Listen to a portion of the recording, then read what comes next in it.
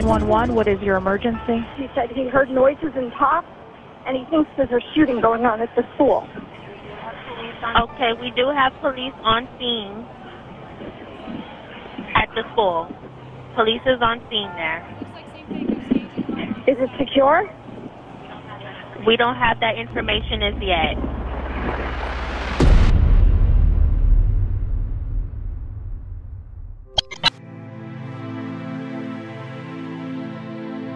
According to the National Center for Education Statistics, it is expected that pre kindergarten through grade 12 enrollment will increase by an average of 3%, from 50.4 million in 2015 to 52.1 million students by 2027. The states expected to grow the most in this timeframe are Alaska by 13%, Texas by 15%, Washington and Florida by 17%, and North Dakota by an astonishing 27%. Today, grade school, whether public or private, is highly regarded in America and in other countries. Websites like Public School Review conclude that the potential benefits that parents reap when choosing public school over homeschool include financial advantages, higher degree of independence for kids, extracurricular activities that might not be available to homeschool students, and freed up time for parents. Backed by the federal government's word, parents are encouraged to enroll their children in the public school system. This future, we must enrich the mind and the souls of every American child. Education is the civil rights issue of our time.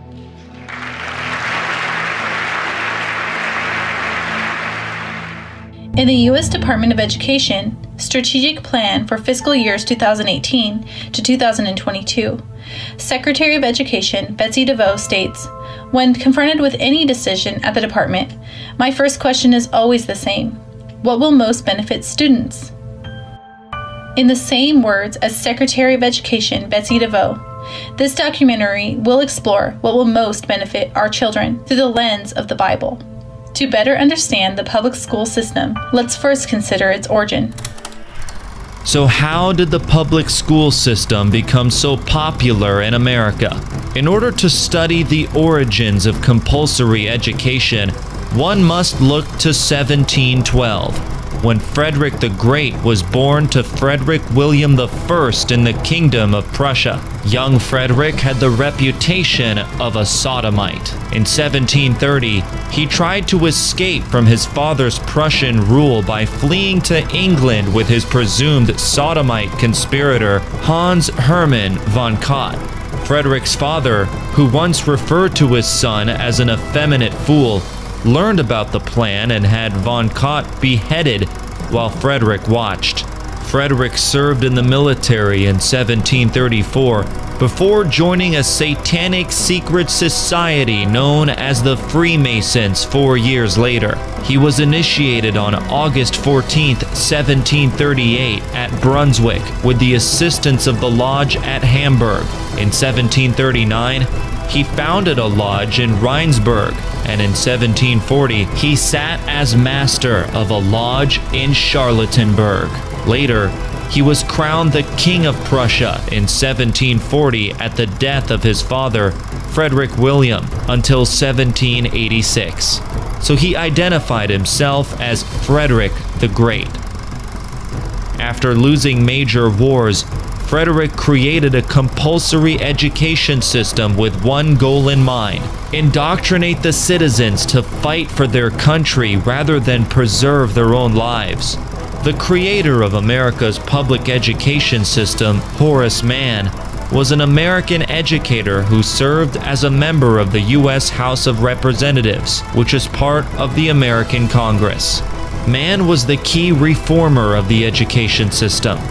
In 1837, he became the head of the newly created Board of Education in Massachusetts, where he began the work that would eventually earn him the title as the father of American public education. After reading through the educational models of different countries, Mann heard about a particularly successful style that had been developed in Prussia, which is now modern day Germany. The Prussian system had shown to be such a success for the government's purposes that, accompanied by a few other educators, Mann traveled to Germany to investigate. Upon their return to the United States, they lobbied heavily to have the Prussian model adopted. The Prussian system of state controlled education extended from the lower grades through the university levels. Schools were established, supported, and administered by a central authority. The state supervised the training of teachers. Attendance was compulsory. Parents were punished for withholding their children from school, and efforts were made to make curricula and instruction uniform. This Prussian education system was transferred to America by globalist power broker John D. Rockefeller and his General Education Board, which funded and formed public opinion and political action. Rockefeller's efforts helped establish public schools for the general public today. By 1900, 34 states had compulsory schooling laws, four were in the South. 30 states with compulsory schooling laws required attendance until age 14. As a result, by 1910, 72% of American children attended school.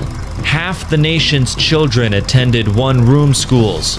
By 1918, every state required students to complete elementary school. The turn of the century was a time of tremendous immigration, which brought a variety of languages and cultural traditions to the United States. American political leaders, using the public education system, attempted to merge the quote melting pot into a unified, forged society. Over the years, political and secular groups have exploited the education system to mold a non religious society by funding initiatives and supporting anti God political candidates. In 1979, the Carter administration transformed American education into a more centralized system through the Department of Education, a cabinet level department of the U.S. government.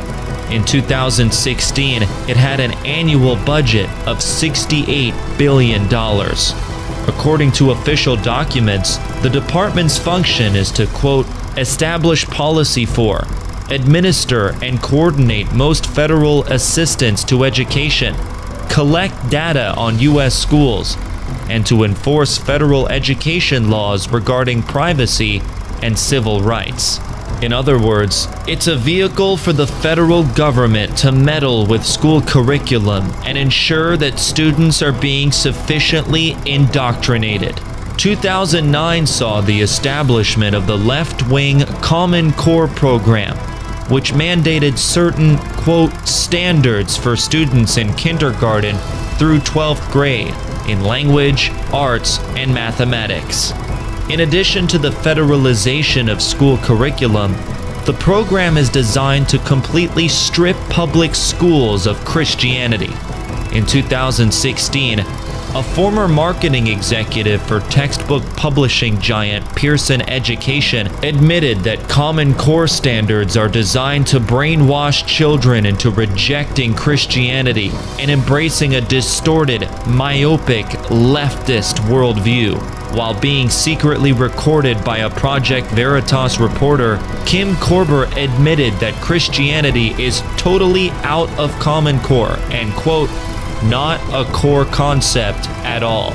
Meanwhile, schools are encouraged to mention other religions such as Judaism and Islam. Additionally, Korber admitted that the program is shrouded with corporate cronyism and that textbook companies intentionally and unnecessarily change content to sell new textbooks and make a profit.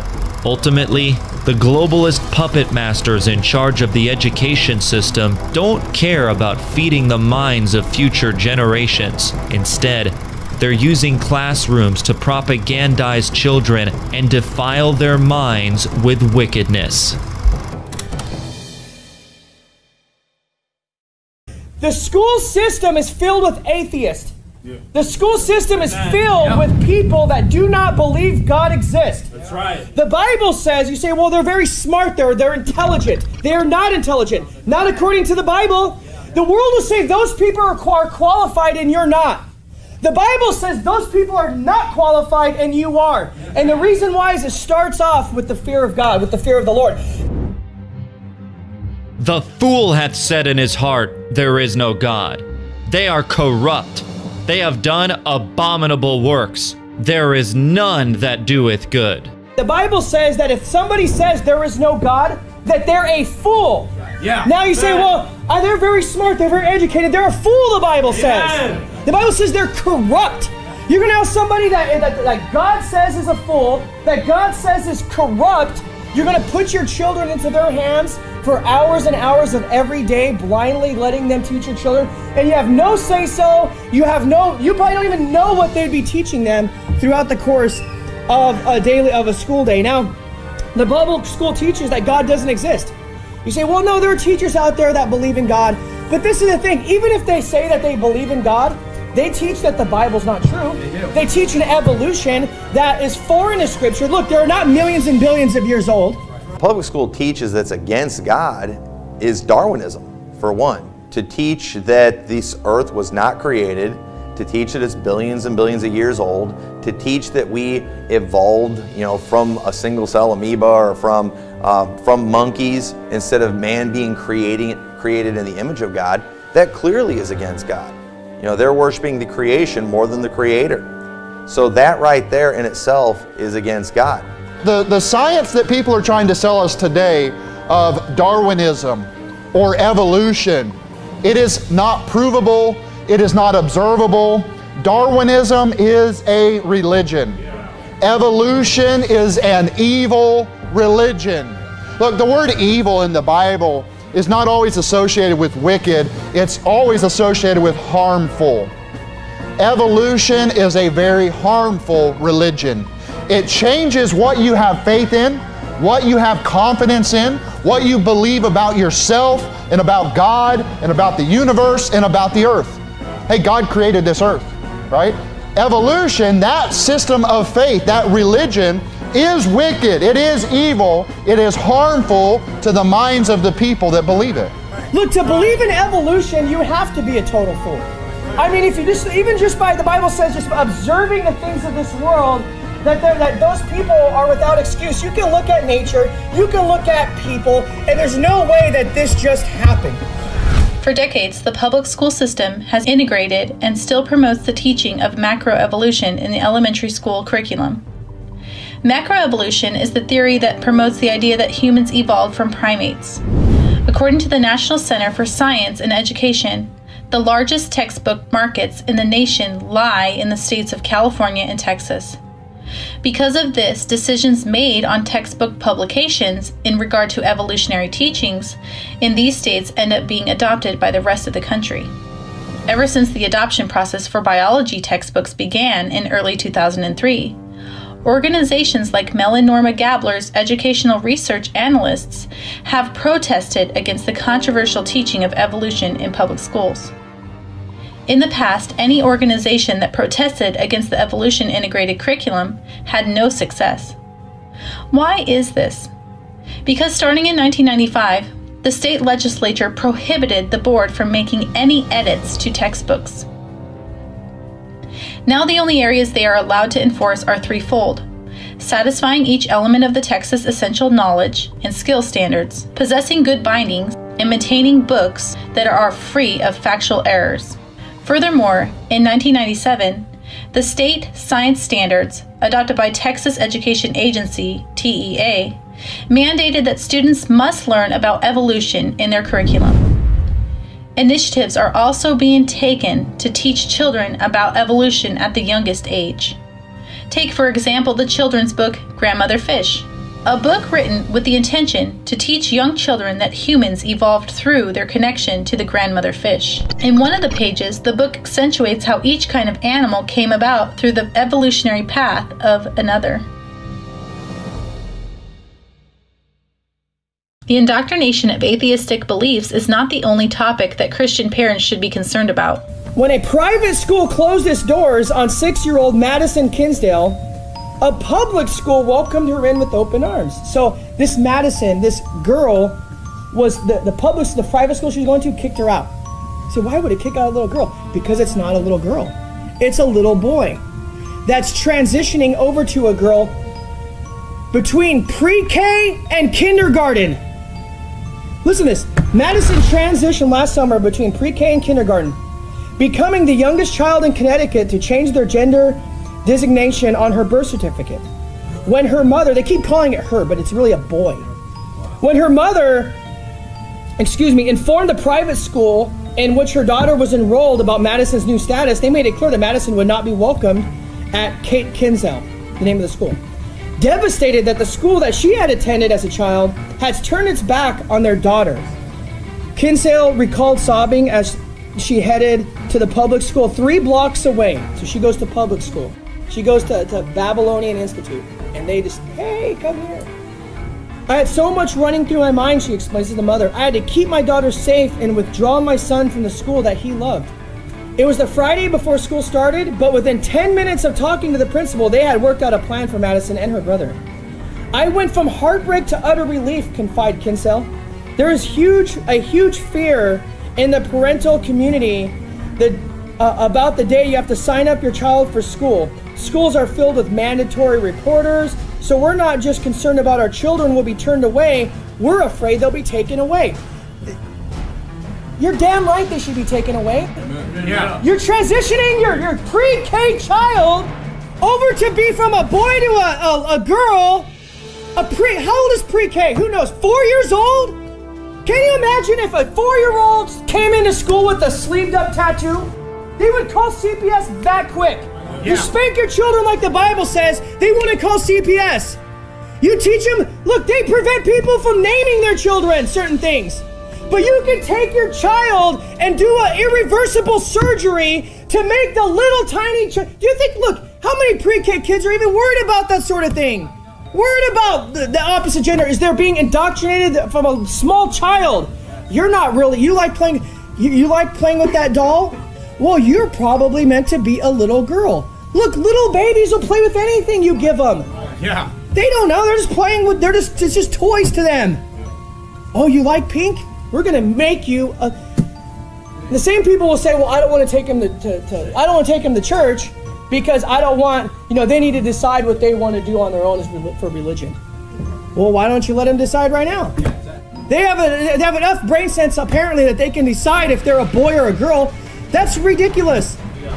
Listen to this. May 5th, 2018. Two elementary school districts in rural Oregon are pulling out of a statewide reading program because of a book about a transgender girl. Last week, a school in Hermiston, Oregon, pulled out of a statewide Battle of the Books competition, which is like this competition between the schools. Now, a school south of Oregon, the capital of Salem, the capital of Salem, is pulling out. According to the Eastern Oregonian newspaper, principals in the Hermiston district said one of the books on the elementary reading list is incompatible with the district's curriculum.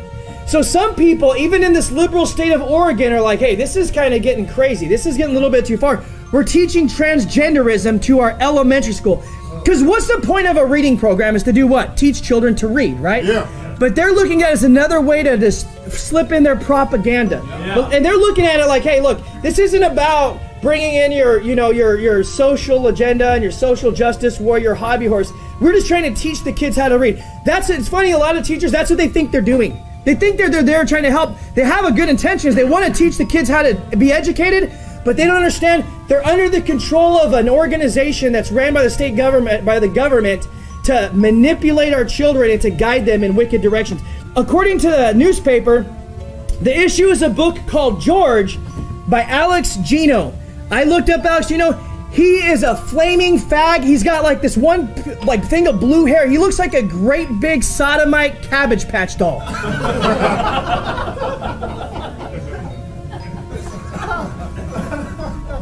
it says the book is about a child named George at birth who identifies as a female and wants to be called Melissa. Now I'm going to read for you that if you go on the book George on the guys on this guy's website about how he's like what he's describing the book, you know, trying to explain to you what's the book is about. This is not what they are saying. This is what the guy himself says this book is about. George, when people look at George, they see a boy, but George knows she's a girl. George thinks she'll have to look when Sona starts off by George thinks she'll have you know what I mean like you uh, you see where we're going the wrong direction. George thinks she'll have to keep this a secret forever. Then her teacher announces that their class play is going to be on Charlotte's Web. George really, really wants to play Charlotte, but the teacher says he can't even try out for the part because she's a boy. With the help of her best friend Kelly, George comes up with a plan. Not just so she can be Charlotte, but so everyone can know who she is once and for all. George is a candid, genuine, heartwarming middle grade about a transgender girl who is, to use Charlotte's word, radiant. This is the reason why this is the reason why these school districts is not just the agenda that this book is pushing. The school district said, the superintendent said, quotes, when they said it was so much, it was not so much about the transgender issue. So they're not even saying, hey, it's not because they're promoting transgender issue. There are a couple of scenes in the book that they felt aren't appropriate for third graders. So it's not even just they're like, look, it's not even just that they're promoting these LBGT, you know, rights. There's scenes in the book. They're putting graphic images there in the book that even the world rejects now. Yeah. That's got to be pretty bad. They allow a lot of smut to go across public school libraries and a lot of smut to be called, you know, PG or G or whatever for that's essential for a third grader. For it to be that, it's got to be really bad. In 2011, the National Center of Biotechnology reported that 75% of high school students reported having uh, using uh, addictive substances, including tobacco, alcohol, marijuana, and other illicit drugs. 46% reported uh, the current use of addictive substances, and one in three substances using uh, uh, students met with a medical criteria for an addiction. You know what's going on? I'll tell you right now. You know what's going on in the high school down the street? A bunch of drugs, a bunch of pornography, a bunch of alcohol. That's what's going on. I mean, you send your kids there, and they're just going to be around a bunch of kids that are going to be, you know, showing them filth, that are going to be trying to peer pressure them into smoking, into drinking, into taking drugs. That's the truth. Now, look, th- y- yes, it's true. They will get a better education from a homeschool parent. But look, there are some lazy homeschool parents, obviously, that aren't raising their kids. But just not having your kids in that cesspool of sin is worth homeschooling them. Because the primary influence of a child should be their parent. But when you allow them to be in this environment, they're going to be influenced by the world. And look, we need to teach our children to love not the world, neither the things that are in the world. According to the Monitoring the Future database, a survey taken in 2012, it said this 24% of binge drinkers, high school seniors, self reported the following for one year 24% reported themselves as binge drinkers. That means they drank five or more drinks in a row at least once in the past two weeks. 17% are current tobacco cigarette smokers. 8% misuse prescription opioids. 6.5% are daily and near daily marijuana users. One in five high school girls binge drinks. Almost half, 47.4% of high school students, have had physical relationships. Fornication. 22% of them say that it happens after using alcohol and drugs. That is where you're sending your kid. Not only are those enrolled in the public school system more likely to find themselves addicted to drugs, but the legal drugs prescribed to children by the school system can be detrimental to their future.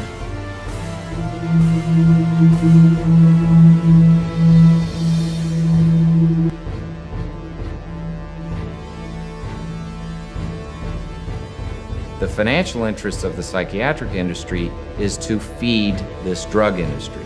And the drug industry's financial interest is to come up with the agents to feed the psychiatric industry. Psychiatric industry then is endlessly engaged in identifying new disorders, which can then be treated with psychiatric drugs. Now, psychiatric drugs are the primary drugs that are consumed in, in America. Uh, one in five people, I believe, if not even higher than that, is on some sort of psychoactive drug in the United States. That is very chilling when you realize the adverse effects associated with these drugs and the number of people that must be experiencing those adverse effects, which include predisposition towards suicide, predisposition towards violence. Is it perhaps the case that when we're giving one in five people these drugs and the effects are admitted by the FDA, shouldn't we expect aberrant behavior to be cropping up all over the nation? It's striking that there isn't outrage in the government and in the medical community over the fact that over a majority of those who have committed these school shootings have been on drugs, psychiatric drugs. And these psychiatric drugs are the very ones the FDA admits increase the risk of suicide and violent behavior. So Adam Lanza was under psychiatric care. He had a breaking point where he went into the Sandy Hook Elementary School and he killed so many children. Now, some say he went off his meds, some say he stayed on his meds. There's a strong public interest because we're talking about kids who appear to have problems one kind or another, but there is no pattern in the sense of them having a clear connection. Well, maybe the pattern is in the drugs they're being given. When we got involved uh, on behalf of a, a group there that was interested in finding out the cause, we suddenly discovered that the coroner's office would not release any information that was of any significance. We ask, may we know the drugs that this person consumed? And we're told no, you can't look at the records. Said to be because they're protecting privacy interests. Privacy interests of who? Not the person who's dead. Privacy interests of the family? There are no privacy interests left.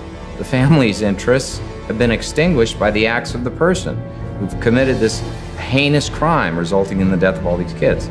This is a public crime of momentous significance to the entire community, and we're researching to determine what caused him to do this. We want the records. The records are now not subject to any privacy protection. Give us the records. We won't give you the records. So we sued the state and we sued the coroner's office and we asked them to produce the records. During the course of that proceeding, statements were made that were rather shocking.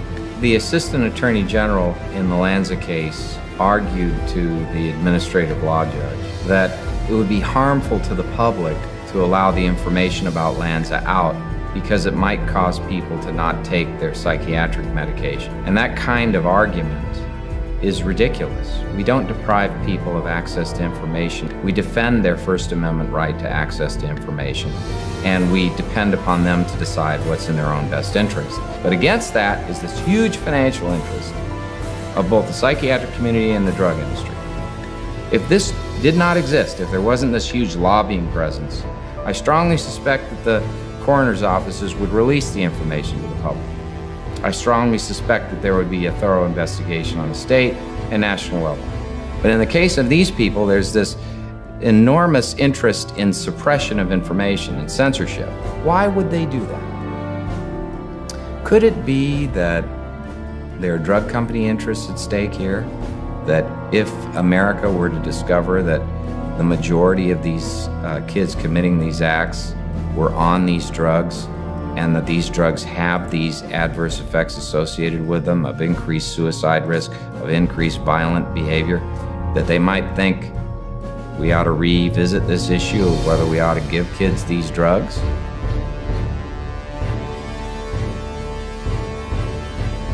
ride on a Tuesday morning in February began with a stern warning from 64 year old Vacaville school bus driver Kim Klopson after an eight year old girl with autism temporarily blocked the aisle with her leg.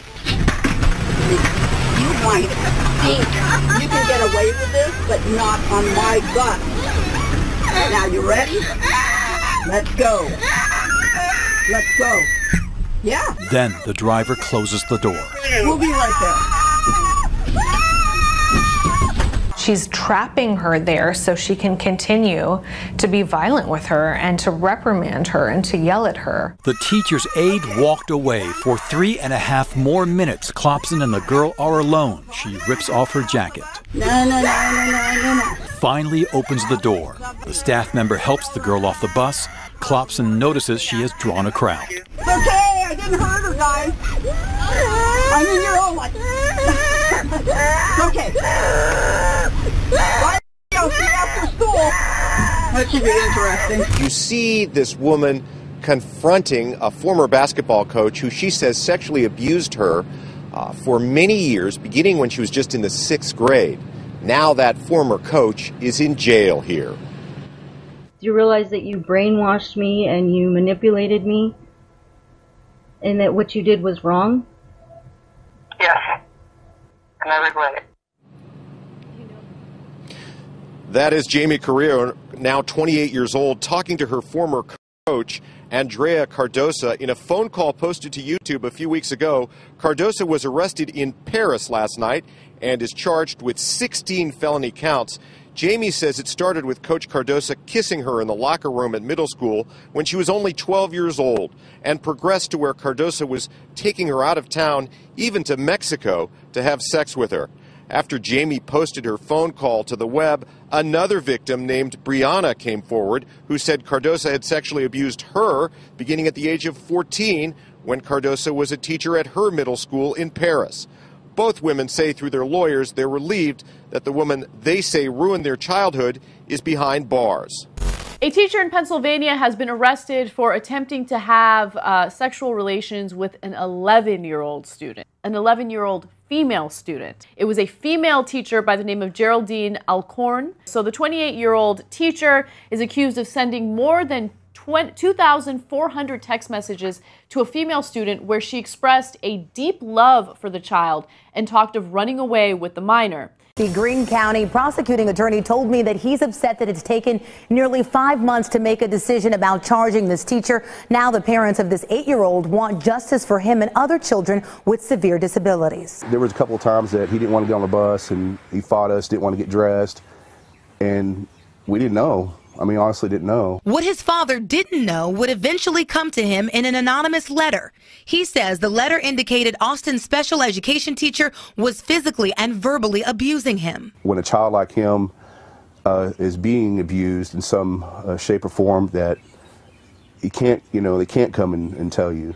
You know, uh, to me, that makes it worse. Police documents that 41 Action News obtained show that it was reported to the principal that Austin's teacher, Janet Williams, tried to kick him when he was under a table and allegedly called him an idiot. One witness said the teacher slapped him on the back of the head and called him another inappropriate name. According to the probable cause statement, the teacher admitted to hitting him at least five times. If your children end up having some kind of a disability, if your children end up needing some extra attention, they're not going to get it. Look at verse number Daniel 1. Look at verse number 4. And the king spake unto Ashpenaz, the master of his eunuchs, that he should bring certain of the children of Israel, and of the king's seed, and of the princes, children in whom was no blemish, but well favored, and skillful in all wisdom, and cunning in knowledge, and understanding science, and such as had ability in them to stand in the king's palace, and whom they might teach the learning and the tongue of the Chaldeans. It's one of the good ones. Yeah. This is the reason why we have a family member, my wife and I, that that's a public school teacher. And she said when they have kids, they are not putting their kids in public school. Not going to do it. And the reason why is because the class sizes are getting so big compared to the one teacher to where the teacher, if you have a child with special needs, you have a child that has some sort of disability, they are going to totally get passed over. They're not going to spend the time. They're not going to sit there and take time and, and, and instruct them because they have so many kids to deal with. You know who they're going to deal with? They're going to deal with the ones that are just picking it up and learning it on their own. That's the ones that they're going to deal with. The other ones are going to get left behind. Okay? And you say, well, no, that's not true. They, they, they make sure they'll, they'll fail you. Look, they do not fail kids at school no more. When I was a kid, if you didn't, if you didn't do good in your grade, they would hold you back. Who remembers that happening? They don't do that no more. Do you know why they don't do that no more? Because the schools, they get funding from the government, and if they hold kids back, if they fail kids, then what it looks like, it looks like the school's not doing their job. So in order to get the funds, in order to make their uh, school look like it's doing a great job, they just pass kids. Yeah, they just pass them on through. That's right. According to the National Home Education Research Institute, Dr. Brian D. Ray states that of the estimated 686,000 children that were victims of maltreatment in 2012, almost half were preschool aged children. Dr. Ray also found that there is an extremely small portion of sexual misconduct acts perpetrated by school personnel that never gets reported to the proper government authorities, even when personnel are fully aware of the act. If that isn't disturbing enough, Dr. Ray says, quote, furthermore, collective bargaining clauses often allow for scrubbing of personnel files. So no record is left once an offender leaves the system. These practices, allowing known sexual predators to quietly leave the district, potentially to seek work elsewhere, have become known as passing the trash or the lemon dance. With no criminal conviction or disciplinary record, predators can obtain new jobs and move on to other victims. On average, a teacher offender will pass through three different districts before being stopped, and one offender can have as many as 73 victims in his or her lifetime. Dr. Ray concludes that there is a remarkable rate of abuse of U.S. school children by school personnel, such as teachers, coaches, bus drivers, administrators, and custodians. It is not uncommon for it to take months or even years for substantial evidence to surface that there was a physical or mental abuse taking place. So, what actions can Christian parents take to drastically reduce the likelihood of their children being indoctrinated into atheism and perversion? Taking drugs, and being physically abused? The biblical answer is homeschooling. You are commanded to teach your own children. And thou shalt love the Lord thy God with all thine heart, and with all thy soul, and with all thy might. And these words which I command thee this day shall be in thine heart, and thou shalt teach them diligently unto thy children and shalt talk of them when thou sittest in thine house, and when thou walkest by the way, and when thou liest down, and when thou risest up. And thou shalt bind them for a sign upon thine hand, and they shall be as frontlets between thine eyes, and thou shalt write them upon the posts of thy house and on thy gates. The Bible says it that all these times thou, thou, thine. He is speaking directly to you. If you have children, it is your responsibility to teach them and train them, not just of the way of the Lord, not just teaching them the Bible, but teaching them in every area of life. We see that it's mentioning just everything throughout the day, how these are all teaching opportunities. This is what parents have always done. And even when it comes to the things of God today, many parents feel like I don't need to teach my kids the Bible. That's what they've got Sunday school for. That's what we go to church for. But as parents, it's your responsibility to teach your kids the things they know. The spiritual reasons to not put your children in uh, public school is they're teaching, they're trying to undo everything you do at church, uh, all of the good doctrine you teach your children, and uh, when you're teaching your children about God, they're teaching them the opposite. They're trying to teach them that there is no God, that uh, you know we, uh, they're trying to teach evolution which is uh, contradictory to our faith in the Bible, and uh, they're they're damaging them spiritually, not just physically. We need to make sure that we are teaching them and we are not allowing them to be taught by the world. The foundation of education is the fear of the Lord. Notice what the Bible says the fear of the Lord is the beginning of knowledge. The Bible teaches us that the beginning of knowledge it begins with a proper fear of the Lord. You see, too many parents, too many Christian parents in the last generation, they just took their kids, they gave them up to the Christian school, and they thought that it was the Christian school's job to raise their kids.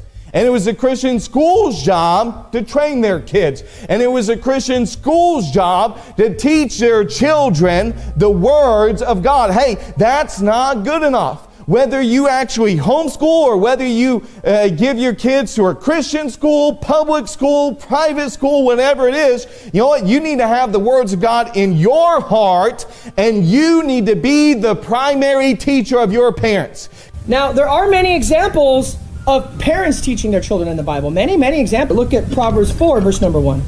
Hear, ye children, the instruction of a father, and attend to know understanding so right here we see in Proverbs 4, we see, hear the instruction And the guy's even saying, look, like my father taught, because I was beloved in the eyes of my mother.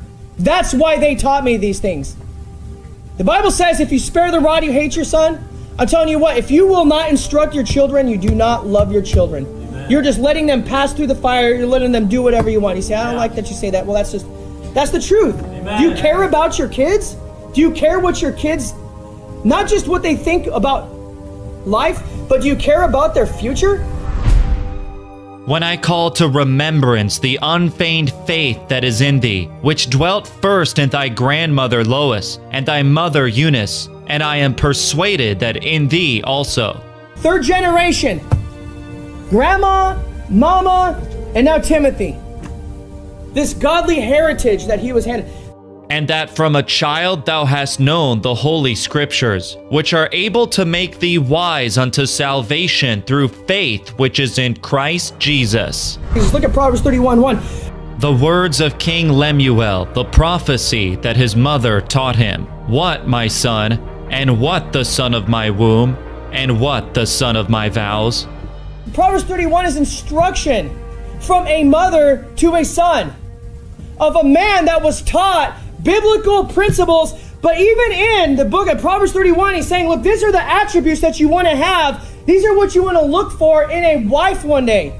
Just telling you how to live your life, what to look for in friends, what to look for, talk about not avoiding drunkenness, what to look for in a wife. In the Bible, spanking as a form of punishment is an integral part of disciplining your children. At many public schools, their form of disciplinary action includes, but are not limited to, detention and suspension. It is not the responsibility of others to discipline your child, but parents are commanded by God to spank their disobedient children. He that spareth his rod hateth his son, but he that loveth him chasteneth him betimes. Hey, how many people out there claim that they don't ha- hate anybody, but yet they spare the rod on their child? What's the Bible say? They hate their son. You know what? That chastening needs to start early. It needs to start early on with that child. I mean, the moment that, that, that you tell them no about something and they look at whatever you were telling them no and they look back at you and you see them kind of reaching for it, trying to see what you're going to do, you know? It's at that point that the chastening starts. Chasten thy son while there is hope, and let not thy soul spare for his crying. The implication there is that there's going to come a time when there's no longer hope. So, this is something that you have to do early, and this is something that has to start as soon as possible. Now, what I wanted to point out just after that is where it says in verse 21 there are many devices in a man's heart, nevertheless, the counsel of the Lord that shall stand. There are a lot of people who have trendy ideas about child rearing, and it seems like they're constantly coming out with new books and new methods for rearing children. All these devices out of the heart of man of new ways to discipline your children, or even this new movement that says don't discipline your children at all. Don't even replace spanking with a timeout, just no consequences, no negative. and it almost sounds hard to believe. But there are websites out there promoting this stuff. There are books that are being written. And if you look at the, the Facebook pages and the websites that are promoting this stuff, they have hundreds of thousands of people that are buying into this garbage and following this teaching that says never have a negative, don't even tell the child that they've done something wrong. Don't even say to them, you've done wrong. Only positive, all positive reinforcement. And some of these people even claim to be a Christian. Now that we've established the Bible's perspective on homeschooling and child discipline, let's now consider the common hindrances Christian parents are confronted with when they decide to homeschool. You know, a lot of people would ask, what that don't homeschool, they think, well, I'm not really qualified to teach. Well, maybe maybe I didn't finish college, and they have a bunch of college professors up there that are teaching my little children. Listen, one on one with love and patience is better than any other method of teaching. Mama, you may say, oh, I don't know, I'm not, I'm not the smartest and I don't have it all figured out and I don't know how, how to do, you know, geometry or whatever. That's okay. They have a book for mom and they have a book for the baby. Mom, read yours the night before and then teach them the next day. Because this is a fear that mothers have is I'm going to screw them all up. I'm going to mess up my kids. You're not going to mess them up worse than the, than the public schools going to. Yeah. You say, well, like, what if they get to 18 years old and they can't do algebra 2? It's okay. Yeah. You know what I mean? That's fine. What if they can't do calculus? What if they don't know, you know, they can't name every president in history? That's perfectly fine. Yeah. At least they're not going to be indoctrinated with evolution and pro sodomy and pro bestiality, which is coming, and pro everything else that's filthy and ungodly. Amen. It's wicked. Yeah. Yes. That's the truth. You're not going to mess them up worse than the public school. You say, I'm, gonna, I'm messing up my kids. Not worse than if you put them in there. They're still better off. Even if you kept your kid home and ended up learning not to read and write, they're better off. Now, that's not going to happen. That is not going to happen. That's what the world will tell you is going to happen, but that's not the truth. They say, well, I'm not smart enough. Well, look at verse number 24. Therefore, whosoever heareth these sayings of mine and doeth them, I will liken him unto a wise man, which built his house upon a rock, and the rain descended, and the floods came, and the winds blew, and beat upon that house, and it fell not, for it was founded upon a rock. And everyone that heareth these sayings of mine and doeth them not shall be likened unto a foolish man, which built his house upon the sand. And the rain descended, and the floods came, and the winds blew, and beat upon that house, and it fell, and great was the fall of it. The ones that are built upon the sand, their storm came upon that house too. The difference is one stood and one fell. The, the sandy ones are the ones that people are trying to do it on their own, do it their way, do it with worldly wisdom. Yeah. They're trying to build their own house. The people that are doing it on the rock, they're letting God build the house. Their labor is not in vain. When you homeschool and you teach your children, you may feel sometimes like you're like you're like you're walking on the escalator the wrong way, but it's not in vain. There you will reap if you faint not. God's word says that those people that don't love the Lord, they are not qualified to teach. The Bible says you are 100% qualified to teach and train your children. Fear thou not, for I am with thee. Be not dismayed, for I am thy God. I will strengthen thee. Yea, I will help thee. Yea, I will uphold thee with the right hand of my righteousness. I don't know if I can do it. God said He'll strengthen you. God said He'll help you. God said He'll uphold thee. Why? Because God wants His heritage to bear fruit. God wants Christian people and their children to become godly another generation. That's what He wants. He wants you to succeed. Oh, they won't be socialized. They're going to be socially backward. Who's heard this one before? But honestly, you know and I know that a lot of the socialization that the kids are getting down at the public school is called losing their virginity. It's called learning about drugs. It's called being shown pornography. Okay? That's a lot of the socialization. But honestly, I submit to you that kids who are homeschooled can actually be better socialized than those who are in public school. And here's part of the reason why. You know, we were just talking about this, but you know, when you go to public school as a kid, there's a lot of peer pressure, right? And you know, it's nervous. It, it's nerve wracking the first day you walk into a new school, right? And when I was a kid, I switched schools a lot. I went to a bunch of Christian schools, went to a couple public schools, and I remember the nervousness of, of walking in to school. It's your first day. You're really nervous. You want people to like you. You want to make a good first impression. You want to be in the cool group. You don't want to be in the nerd herd. All right. So, you know, you're nervous. And here's what often happens, and you know this is true in school. Let's say you pipe up and say something. Let's say you uh, are outgoing and friendly to a kid. It's often rebuffed and you're mocked and made you know you stand up and say something you'll often be made fun of mocked and jeered in public school right? I mean if i were to ask for a raised hand who got made fun of when you were in school at some point? I mean every single hand would go up right that everybody has gotten made fun of for something or some you know at some point you've been made fun of in school. Because kids in school are constantly mocking and making fun of and harassing each other. And so, you know, you want to fit in and be cool. You don't want anybody to make fun of you. So here's what happens. A lot of times, kids that are from a homeschooled situation are more outgoing because they're used to speaking up and talking and not having somebody just shut them down and mock them and ridicule them. So in public school, you just kind of want to be cool. Just kind of keep your mouth shut sometimes. Don't say anything because you want to fit in and be cool. And sometimes people who come out of public school can be a little more socially backward than the homeschooled crowd. I'm sorry, but you know, I've been around homeschooling functions and homeschool PE classes, and, and, and I know my kids are super outgoing. And I find that a lot of homeschooled kids are very outgoing, very confident in themselves, and able to strike up conversations with strangers very well. Whereas a lot of public school kids, they've been shut down so many times when they tried to open their mouth or be, you know, how many times? Hey, you know, hey, can I sit with you for lunch? It's like, it's taken.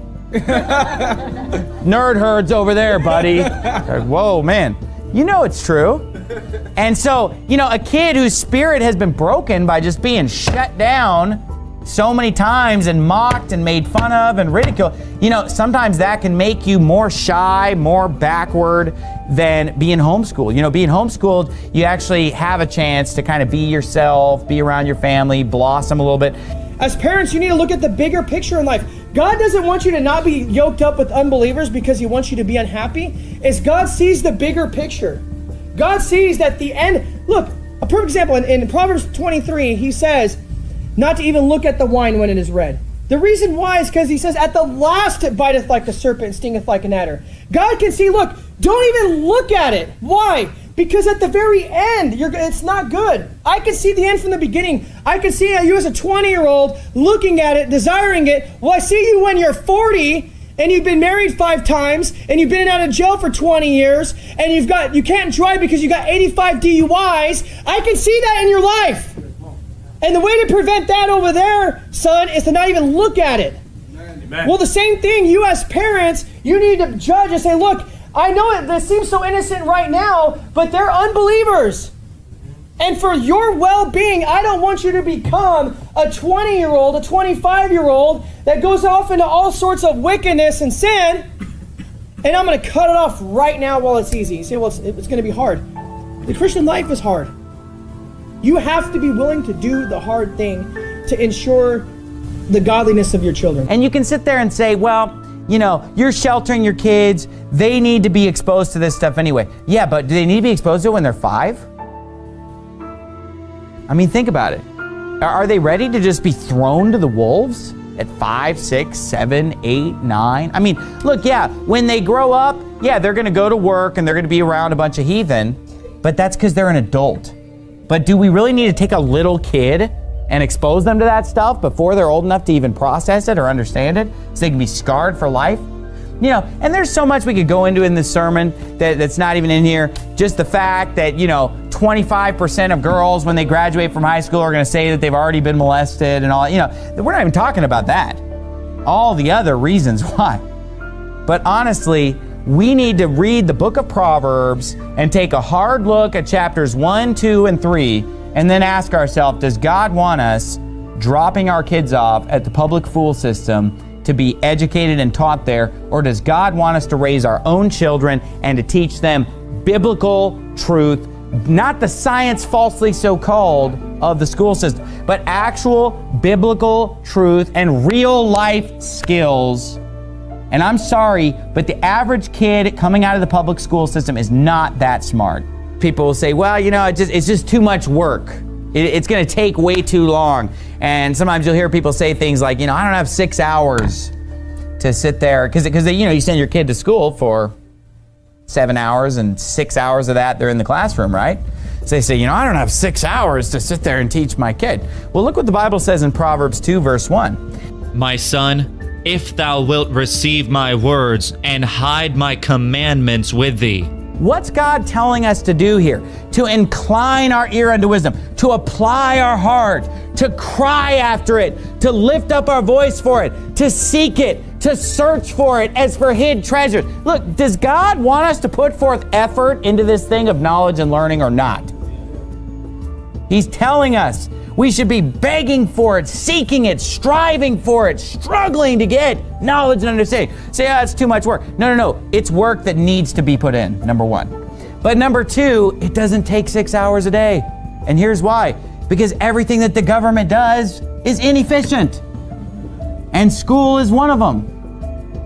Honestly, to homeschool your child only takes a few hours a day. And when they're really young, they only need, uh, you know, a, half hour, an hour or something when they're real young. And then as they get older, it becomes two, three hours. Eventually, it becomes four or five hours. But most of that, they're working on their own. I mean, actual instruction time, they don't need a whole lot of instruction time because a lot of it is reading and studying and doing the work on their own. And it really only takes a couple hours a day to get this done. And you say, well, you know, you're just not teaching them as much. Well, here's the thing they're smarter than the kids that are coming out of public school. They'll say, well, you know, the government is going to come after me and, uh, and take my kids away if I homeschool them. Well, first of all, there's a huge number of people that homeschool.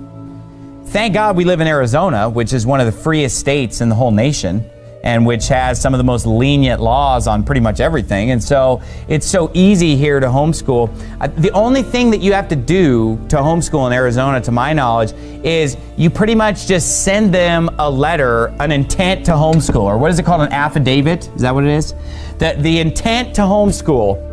You just send it to them one time. I'm going to homeschool. And they're like, okay. And then you never have to deal with them ever again. I mean, that's not that bad, is it?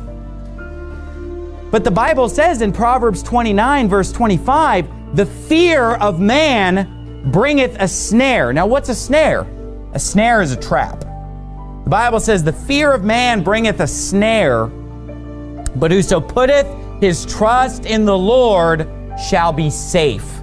If we trust in the Lord, he's going to keep us safe, the Bible says. But the fear of man is a trap, it's a snare. So basically, we're scared of man oh no, if I homeschool, somebody's gonna come take my kids away. So I'm just gonna give them my kids every day for seven hours to do whatever they want with them and brainwash them however they want. I'm so scared that they're gonna take my kids away that I'm just gonna willingly give it to them. Well, but it's only half the day. Yeah, but that's enough to poison them.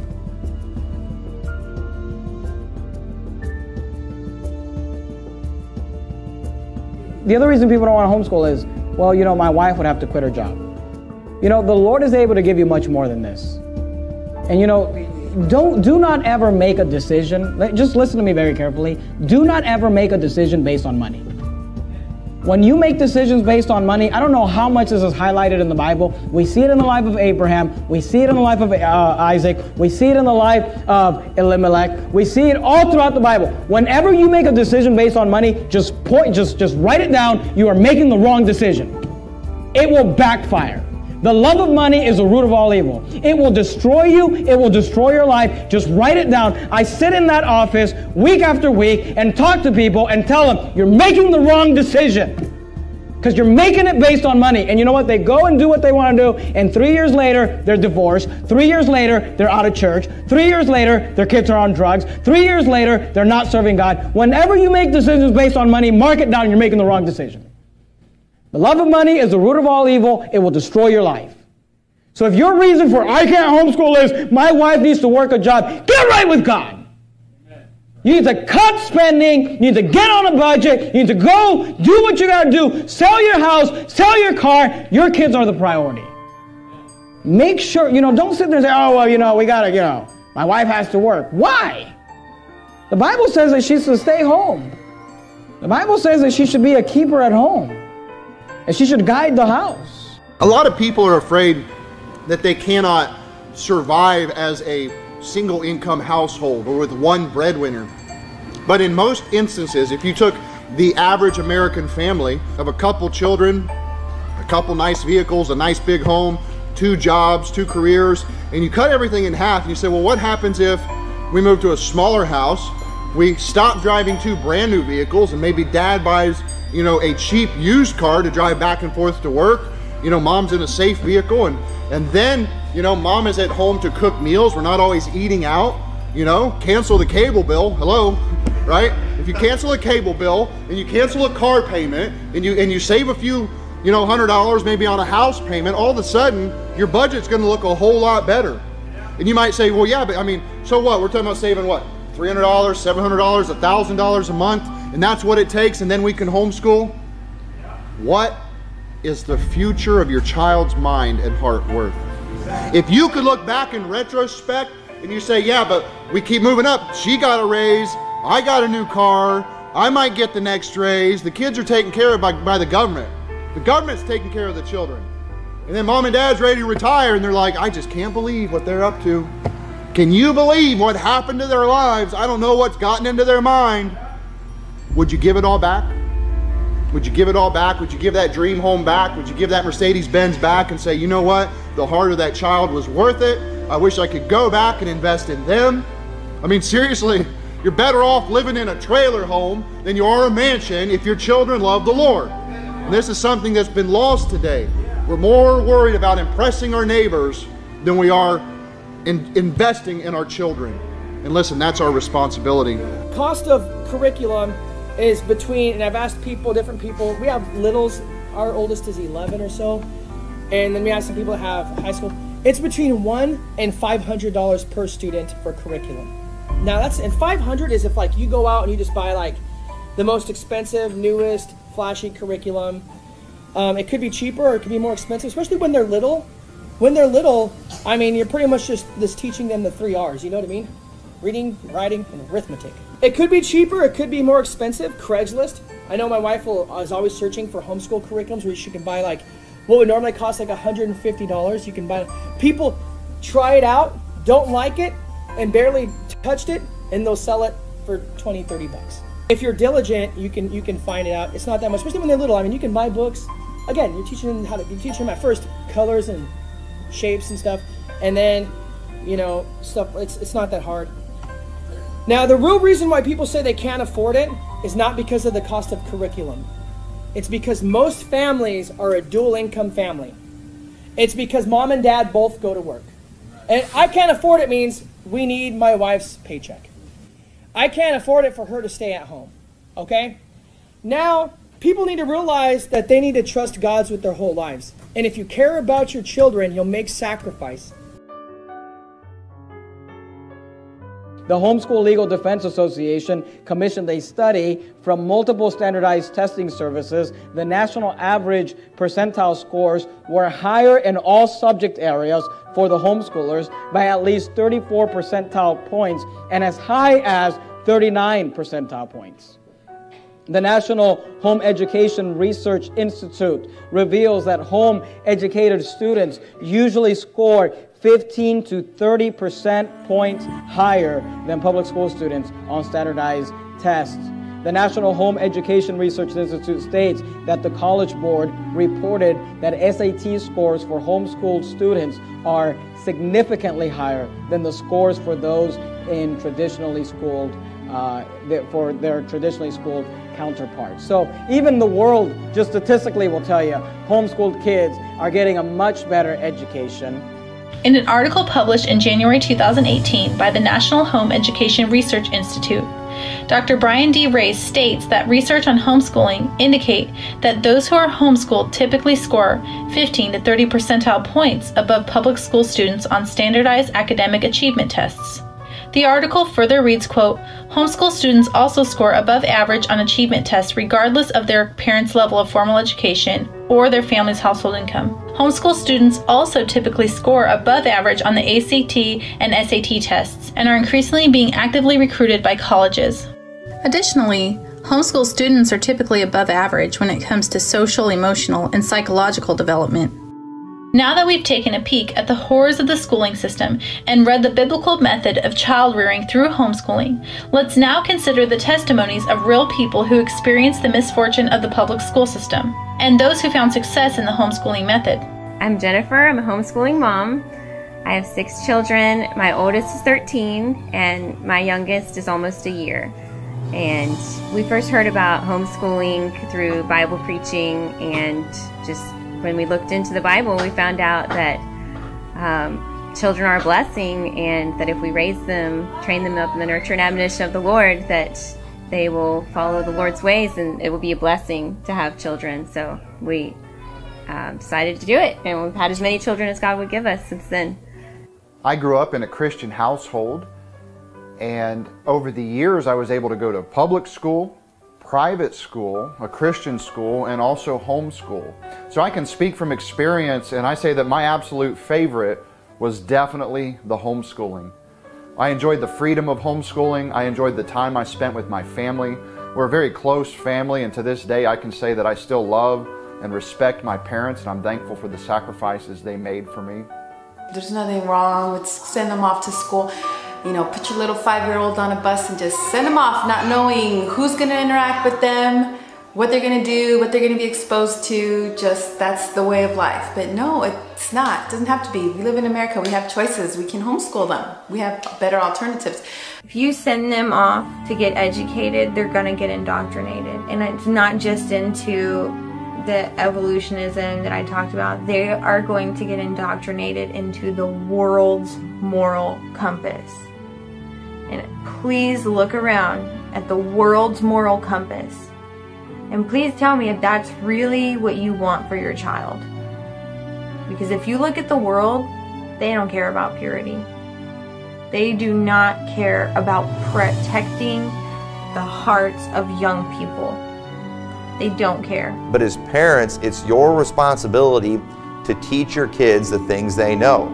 You need to create a home environment that will help them learn and help educate them. So if you really want to spend more time with your children and raise them, you know, really homeschooling them is just the only way to go. It really comes down to the parent, and that's biblically, there's so many verses where it's the parent that's doing the, the correction and providing for the food and the shelter, the clothing, and all of these things, and also for education.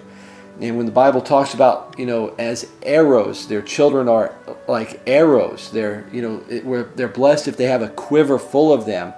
And uh, as arrows in the hand of a mighty man, the Bible says. And so, absolutely, children are supposed to be trained by parents. What it really comes down to is who has the authority. You see, as parents, God gave us the authority to train up our children and to bring them up.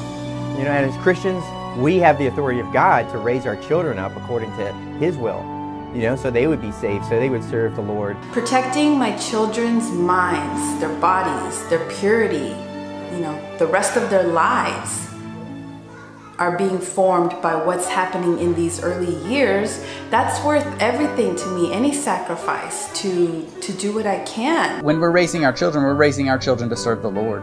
And we want them to uh, to love God and to be able to be free in whatever they do to uh, to do what God asks them to do, to witness and to read their Bibles and to share their faith and uh, and do soul winning. The main thing I think of when I think of why I don't send my children to public school is because once you give them authority over your children, you have to petition to get that back.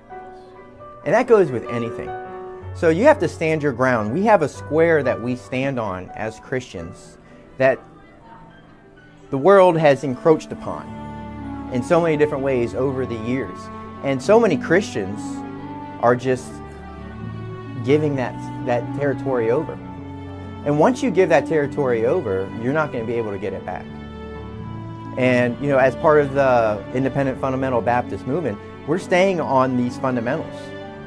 And those fundamentals are raising our children according to the Word of God, and the principles of our faith are the, are the foundation of our lives. And once we give our children over to the school system, you know, you have to ask for them to come back. You know, so if you want to take time to go on a field trip, now you've got to ask permission. You have to justify yourself to the system. You know, and I'm just not interested in doing that in any form or fashion. You know, I'm not rebelling. I'm just not submitting myself myself willfully and willingly without careful consideration. And this is something that I've considered. The first step to getting out of the public school is to just pull them out right now. Get them out right now. I know there's a lot of concerns. I know there's a lot of things that people are worried about, but you need to just realize this is not a place for my kids. I don't have to be there, and you need to pull them out of there as fast as you can. It's as simple as just not sending them there anymore. It's as simple as not enrolling this fall. Just pull them out of there and don't ever look back. I'm just taking my job as a parent, um, as serious as I can, to just protect these children and make sure that they start off adulthood the best possible way that they can, not broken and disillusioned and worse. We really thought, you know, homeschooling and keeping our children with us at church, you know, with family integrated worship, then, you know, you're really able to raise your children to be people that you like, you know, and people who the Lord would be pleased with. So then we're fully responsible for the people they turn out to be. That it's really all on us instead of just whoever their friends are at school that they're around, um, or even Sunday school. So. And a big principle in that is that uh, foolishness begets foolishness. And uh, the Bible says foolishness is bound up in the heart of a child.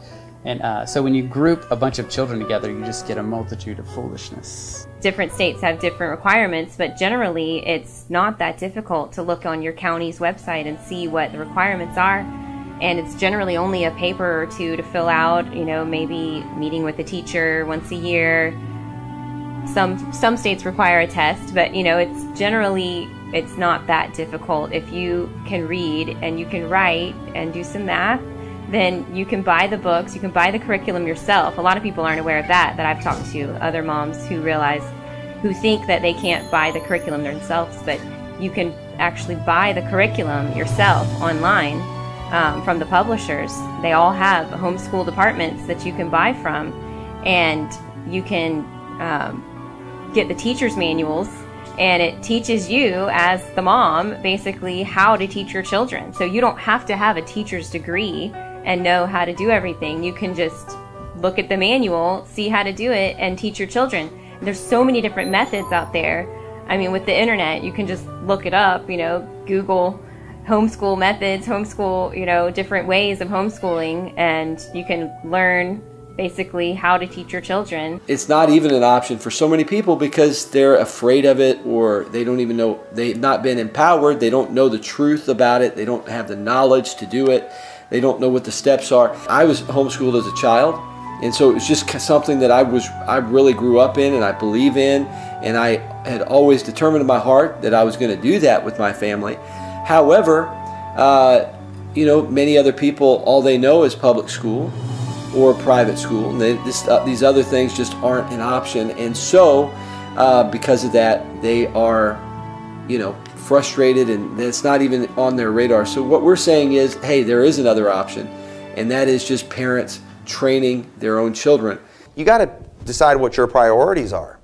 Do you want to raise good kids or do you want to have nicer cars and a bigger house? I would rather live in a smaller house. I would rather drive older cars and me be able to teach my kids the right way. You've got to prioritize. You can do it. And at the end of the day, too, it is God commanded the man to be the breadwinner, the man to work. And you know, the Bible says, Six days shalt thou labor and do all thy work. In the Bible, we see a typical work day was around 12, a 12 hour day. You might not be able to do a 40 hour work week, but you know what? Be willing as a dad to step up and do that extra work, whatever it takes, so your wife can be where she belongs. She can stay at home and she can train those children and educate them and you will be glad you did it. It will be a great investment that you'll never regret. I learned by watching my dad as the sole breadwinner of our family that as a man, it's my responsibility to take care of my wife and my children. And today in society, we usually send the woman off and she gets a job also, and people look forward to the vacations and the bigger homes and the bigger cars, the newer cars, things like that. And I thank God that I was able to learn this lesson from a young age that an older car can still be a blessing, especially if you don't have a payment. And I'm thankful that I learned the biblical method of being a man, and that is to take care of your family so that mama can do her job. What's important in life? You have to really ask yourself that, you know. Um, a lot of times it comes down to a wife really getting the job. You know, I've known this to be true about a lot of situations. The wife just gets a job so that the family can really go to Disney World and you know, have the big vacation and all that kind of stuff. But as your family grows, uh, your priorities change, and just being together, you know, having just days that where, where you go out and you do things, and all those types of things. Those are those are very special. Not to say you can't go on vacation and you're just going to live a hermit's life for the rest of your life, but it's just it's just kind of perception because the world tells you you have to have like this a, a, a newer car and they look down on you if you have you know uh, you know they'll call it a junker. You know why is it a junker if it's still running? You know and it's gonna you know it's been running for years. It's not a junker quite yet because you still got life in it. You know that kind of thing. Um, you know they just have a perception about about things and, and a lot of that is superfluous. Um, you know don't don't worry about image don't worry about status and all that kind of thing It's not worth scarring my children for me to go out and get a job and make more money and live in a bigger house. It's just not worth it for us to be able to go on vacations. You know, we make do with what we have and we plan trips when we can, but it's just not worth it. In homeschooling, you set the pace, and your children that advance faster in certain subjects are able to move forward. And the, the child that you have that you need to spend extra time with on certain subjects, you also have that freedom to make sure that they're able to grow. being able to basically make our own curriculum has been something that we've really enjoyed. You know, not even just sticking to the one publisher's curriculum. You know, we might choose one curriculum in one subject, another one in another subject, and then we'll just make up our own for certain things that, you know, we just, you know, things that we want to teach them. If I want to teach my daughter how to sew, you know, I don't have to buy a sewing curriculum because I already know how to sew, so I can just sit down and teach her that you know whereas if she was in school all day I, there's no way i would be able to teach her that skill you know during the off hours you know and same with my husband with um, skills that he's able to teach our sons you know he's able to do that because we have more time with them. Because they don't have all the homework at night. They're doing all their schoolwork during the day within a few hours you know three to five hours maybe. Then they're done with you know whereas a regular child that's at school would be there all day plus would have homework at night and you just aren't going to have the time with your children raising them that you know that you have as a homeschooling parent Homeschooling's better. They're getting more one-on-one attention. That parent who's teaching them cares very deeply that they actually learn and get a good education. And so they're going to make sure they actually understand these things. Uh, most homeschool kids, they're taught morals. They're taught to have some character. They live by certain biblical principles that's going to help them across the board in their life. So they are just naturally going to do better than a child that's being taught that they came from a monkey, a child that's being taught not to have any morals, that everything is okay, whatever you feel like doing, do it. The, the homeschool kid's always going to do better in those situations. The Bible says that you need to teach your own children. Don't delegate this to someone else. Don't be afraid. You can homeschool. You're capable. There are so many resources available to you. There's so many different types of curriculum that you can use. You can custom tailor this to your child. Your child will be better off if you're willing to do it. You won't have to be worried what happens when they go off to a public school. You won't have to worry about them being abused mentally or physically or spiritually. God will bless you if you determine in your heart that you're going to teach your children and you trust the Lord to help you give them the best education that they can get. And that comes from their very own parents. Don't be afraid, you can do this.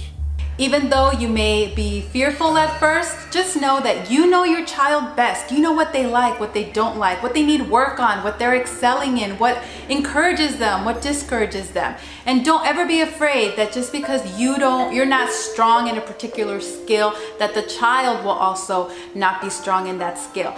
I don't know the first thing about playing piano and yet my daughter just finished her first recital recently. There is so much out there for the parent today that wants to homeschool. There are programs, there are curriculums, there is an abundance of free resources on the web, through the library, with any subject, with any hobby, with any interest. It's out there and you are the best person to put together this plan for your child. It's an exciting chapter in your family life, one that is very unique and it's very fleeting and once it passes, you'll never have that opportunity again. And if you need encouragement, if you need support, just reach out to someone. There are so many groups online and in person that you can reach and maybe have fellowship opportunities or go on field trips together or just encourage each other when maybe you're having a bad day or you're doubting yourself. I love homeschooling and I could not picture my life any other way. And so if you're on the fence, I encourage you to take that leap Take that leap of faith. It's going to be okay. It's going to be fun. It's going to be memorable. It's going to be life changing in the lives of your children and your family in general. And parents, if you did not get the education during your school years that you deserved, now is the time. Now is your chance to take it back and be an example for your children of learning when you're older. Learn it together and be a team. It will bring you closer. It's a sacrifice worth making and the return on this investment is priceless. I would tell someone who's um, who's considering homeschooling but is maybe not sure if they can do it, you can do it. Don't be afraid. You know, you're just as smart as any teacher out there. You can definitely do this. If you get the books, go online, find the curriculum, know, there's a lot of great curriculum out there, and you could get it and you can do this. These are your children, you love them, and you want to raise them for the Lord. So I would encourage you, you know, anyone wanting to do that to definitely homeschool your children. It'll be worth it.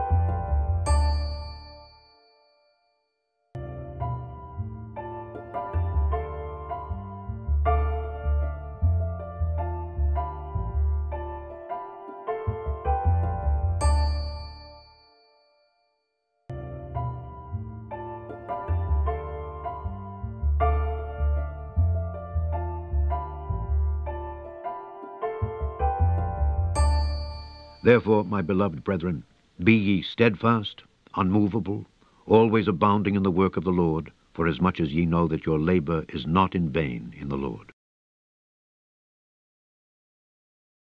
In 1 Timothy chapter 2 it says, "Who will have all men to be saved and to come into the knowledge of the truth."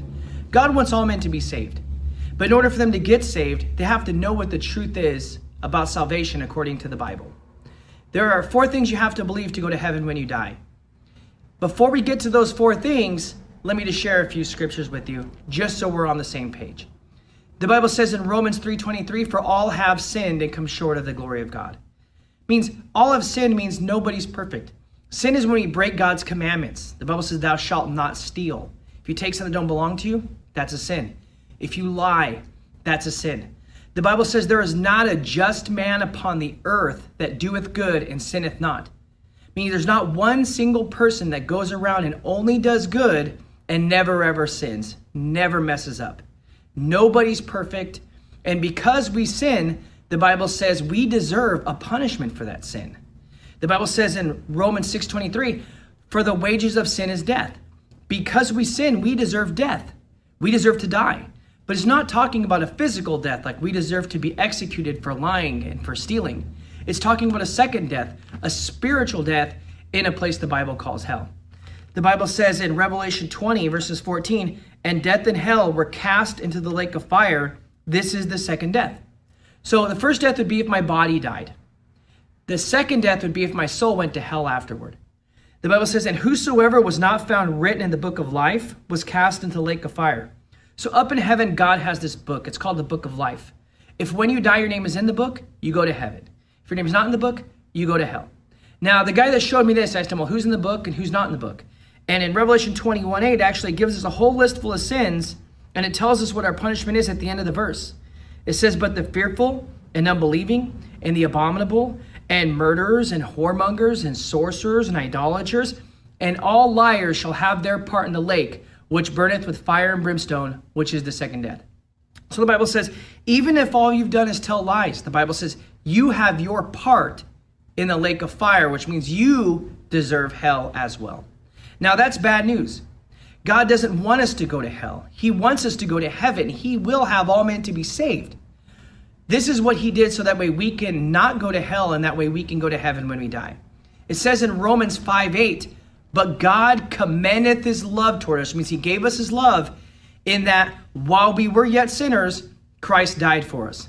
So God looks down from heaven. He knows every sin that you've ever done, that I've ever done. 2,000 years ago, he sent his son, Jesus Christ, born of the Virgin Mary. He lived a perfect and sinless life. He went around doing amazing miracles. He fed the poor. He healed blind people and deaf people. He proclaimed to be God in the flesh.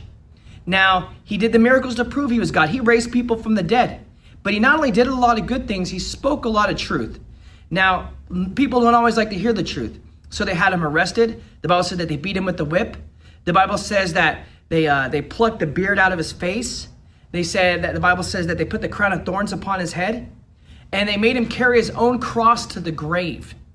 That'd be like if I hated you so bad, I kidnapped you and tortured you, and at gunpoint, I made you dig your own hole.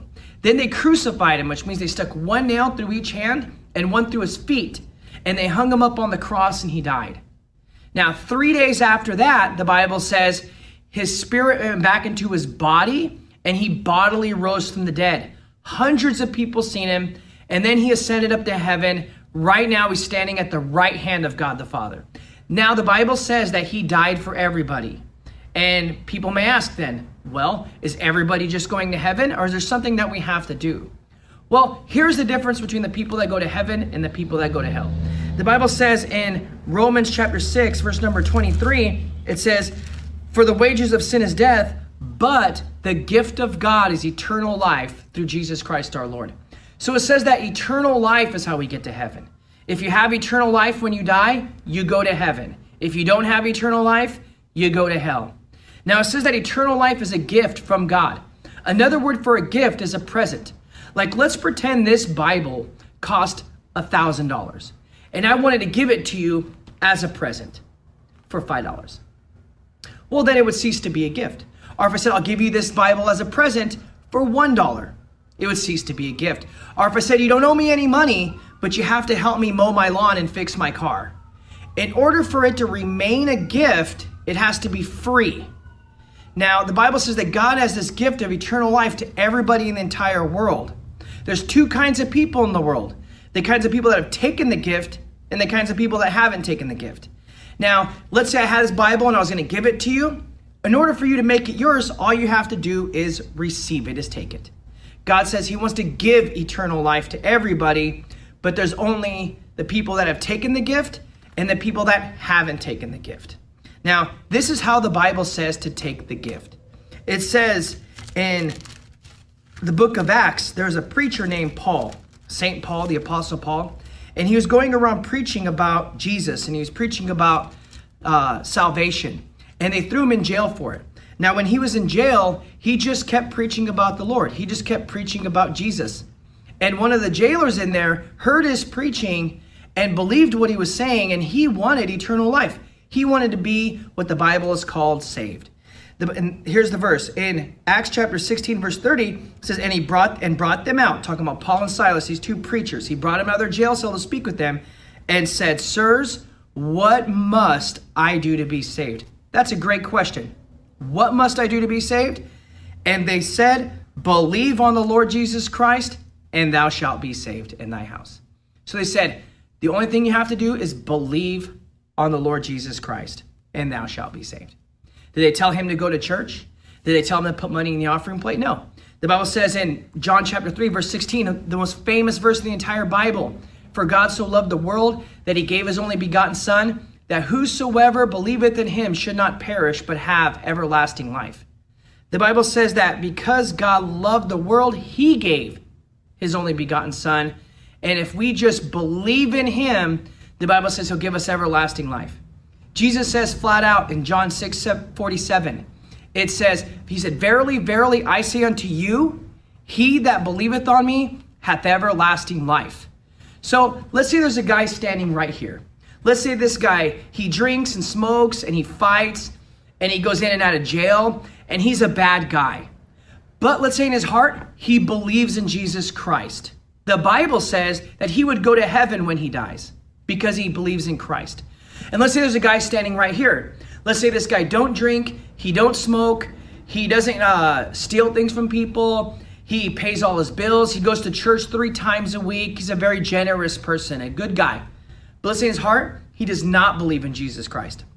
The Bible says when he dies, he'll go to hell. So it's not good people go to heaven and bad people go to hell. It's people that believe go to heaven and people that don't believe go to hell. Because what these two guys both have in common is they both sin. This guy's sins are probably far worse than his sins, but they still both sin. Therefore, they both have their part in the lake of fire and they both need a savior.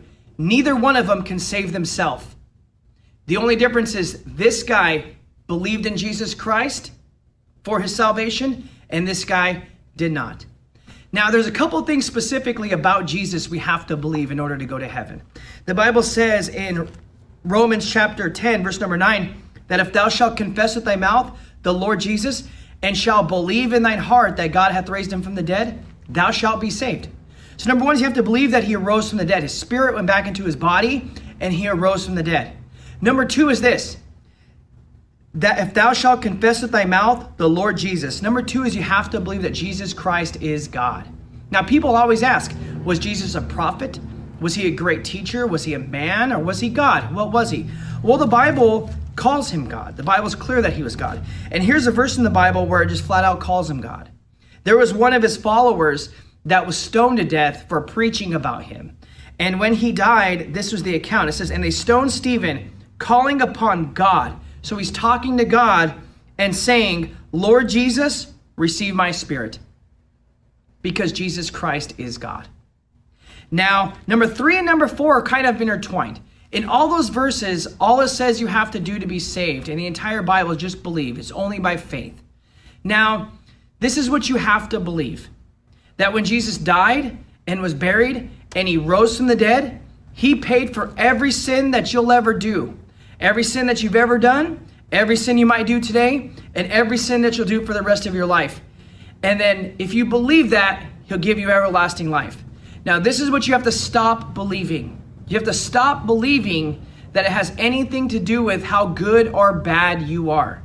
Meaning this, you can't believe it's by you getting baptized and you believing in Jesus. Or it's because you're a good person, but you also believe in Jesus. You have to believe it's only through his death, burial, and resurrection. Now, just like if I was going to give you this Bible, and let's say I bought it on Amazon, it was not free for me. I paid $1,000 for it on Amazon. It's free for you, though. All you have to do is receive it.